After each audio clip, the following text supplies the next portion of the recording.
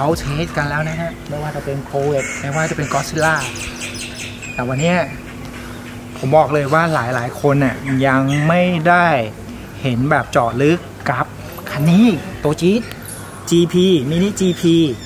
แล้วก็เป็นตัวที่ในเมืองไทยเนี่ย คือเอาง่ายๆใช้คำว่าขับขวาแล้วกันนะฮะ ทั่วโลกเนี่ยมีอยู่แค่จำนวนแค่ 500 คัน คันนี้แหละ item มากๆ ช่วงเขาพักกับกองกันนะฮะอ้นนะฮะ เดี๋ยวจะแอบเอาคันนี้เนี่ยไปเทสดูกันว่า มันทำคอต้นใหม่กันได้เท่าไหร่ ไปกันเลย เข้ามานะปึ๊บแค่เสียงสตาร์ทมันก็เราใจมากเลยนะครับเอาละโอเค เดี๋ยวเราจะไปดูกันนะว่า 300 ในมินิ GP เนี่ย 300 กว่าม้าเนี่ย มันอารมณ์และความรู้สึกเป็นยังไงกัน อันนี้บอกเลยว่าแลแลสุดๆ นะครับ เอาลยฮะ ผมอยู่ในมินิ GP นะครับ ก็รอบนี้จะเป็นรอบที่เราเทสกันจริง ๆ เพื่อดูว่า 0 ถึงร้อยอ่า เพื่อดูว่า quarter mile ของคันนี้ทำได้ดีสุดอยู่ที่เท่าไหร่ ตอนนี้มันเป็นโหมดปกติแต่ว่า จะ test ทั้งทีต้องขอให้ test แบบ performance ประสิทธิภาพสูงสุด วิธีการง่าย ๆเลยนะครับ เข้า D ก่อนนะ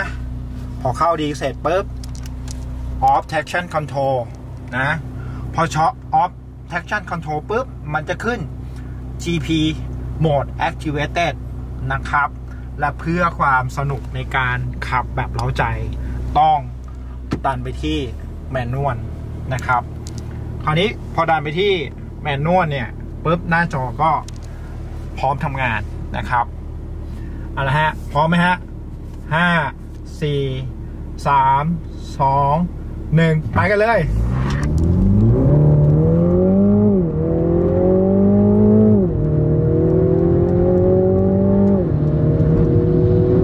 เก้าวิสิบวิสิบเอ็ดสองสิบสามสิบสี่น่าจะ สิบสี่วิอะ โอ้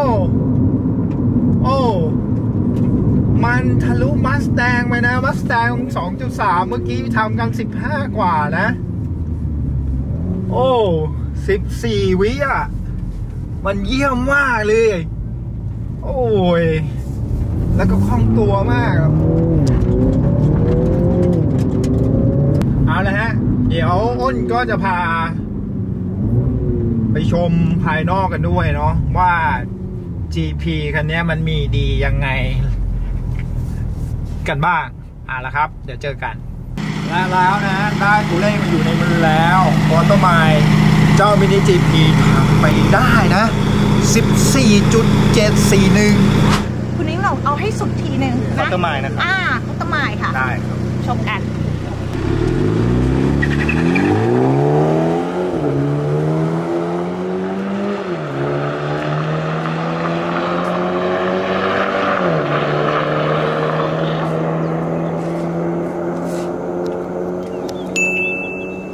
อะ คราวนี้เรามาแตกกันดูว่าแล้วทำไมมันถึงได้ถึงขนาดนี้ วันนี้ Mini GP ตัวนี้มาด้วยขุมพลัง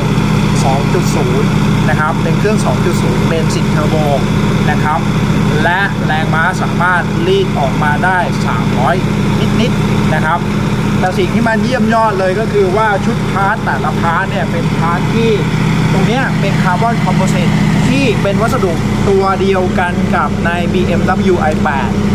ได้ในเรื่องอะไรได้ในเรื่องของน้ำหนักเบาได้ในเรื่องของความแข็งแรง และตัวนี้เสริมเข้ามาช่วยในเรื่องของหลักแอโรไดนามิกนั่นคือเหตุผลว่าทำไมเวลาที่เราใช้ความเร็วสูงๆ มันถึงแบบเกาะถนนค่าค่า CG อะคือค่าความถ่วงอะคือต่ำมากเลยนะไหนๆก็คุยกันตรงนี้แล้วนะฮะดูด้านหน้า บอกได้เลยว่าเป็นการดีไซน์สำหรับรถที่ใช้งานในชีวิตประจำวันที่ เอาสเปคของรถสนามมาใส่ทั้งหมด ไม่ว่าจะเป็น caliper caliper ตัวนี้เป็นของ John Cooper Works นะฮะ ซึ่งบอกได้เลยว่าเป็นตัวที่ใหญ่ที่สุดที่มินิเอามาใส่ อ่า และก็มาล้อมาด้วยล้อเอกลักษณ์ เฉพาะตัวของตัวรุ่น GP แต่สิ่งที่มันไฮไลท์เลย นี่บางคนเห็นยางนะ มาจากค่ายเกาหลี Hankook บางคนบอกว่า อะไรอะใส่ Hankook ต้องบอกเลยว่าตัวเนี้ยเป็น Hankook ที่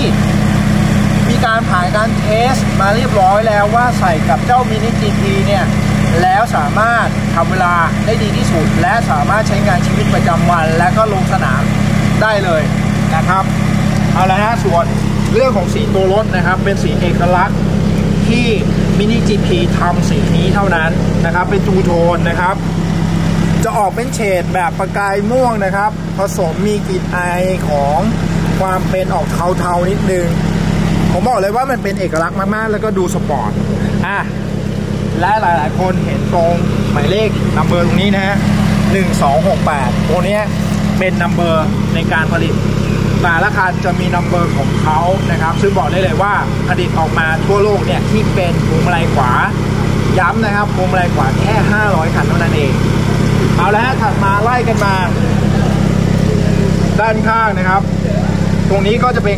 carbon composite ด้วยนะ แล้วก็วิ่งหลังนี่เลยเอกลักษณ์ของคำว่า GP แต่สิ่งที่มันมีการออกแบบเป็นเอกลักษณ์เลยดูตัววิ่งหลังนะ ลายเส้นเนี่ย ของการทะลุ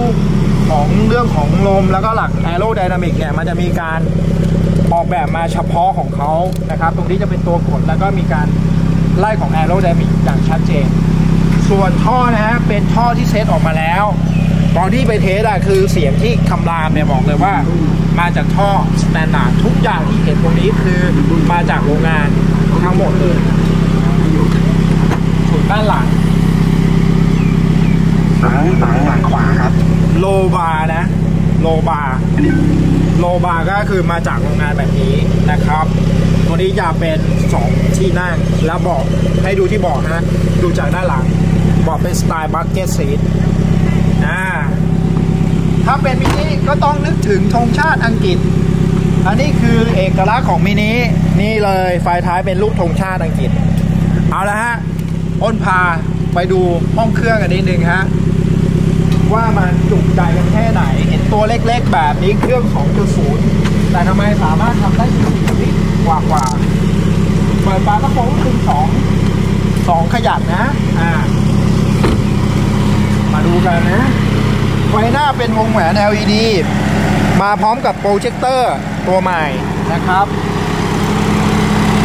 เปิดขึ้นมาก็เจอโลโก้เลยนะฮะ GP ดูดันนี่เดิมๆทุกอย่างเลยว้าวเราใจมากนะครับอะดีไซน์ที่เยี่ยมเลยคือช่องดักลมเนี่ย ตรงเนี้ย ออกแบบมาได้ดีมากในการที่เข้าไประบายความร้อน แล้วก็แผงอินเตอร์คูลเลอร์ครับเห็นไหมครับ คือแผงใหญ่มากเลยด้านในอะอ่าแล้วก็ตรงนี้ก็จะเป็นเอกลักษณ์มีสีแดงนะครับตัดอยู่สองตัว แต่ช่อง air intake นี่แบบเต็มเหนียวเลยนะอืม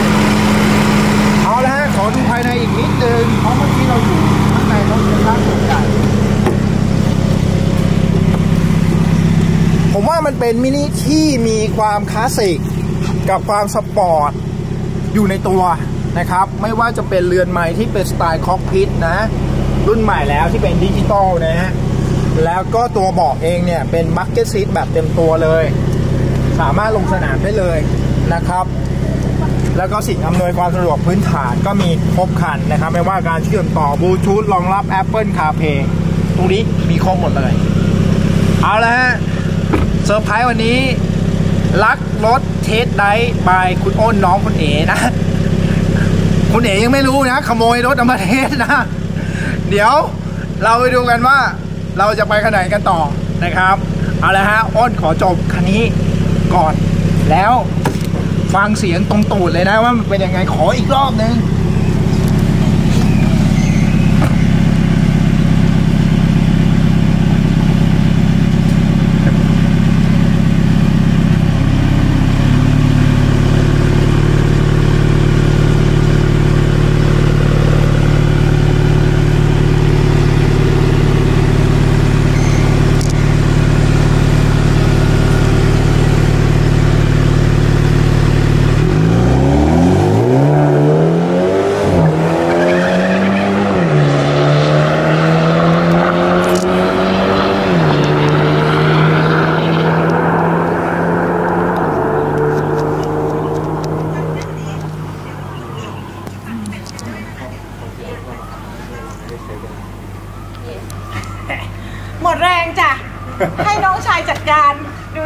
เป็นกุลสตรีเลยเคยเห็นไหมกุลสตรีนั่งท่าเนี้ยผมไม่ค่อยชินตากับคนอื่นเลยไม่ชินเลยค่ะ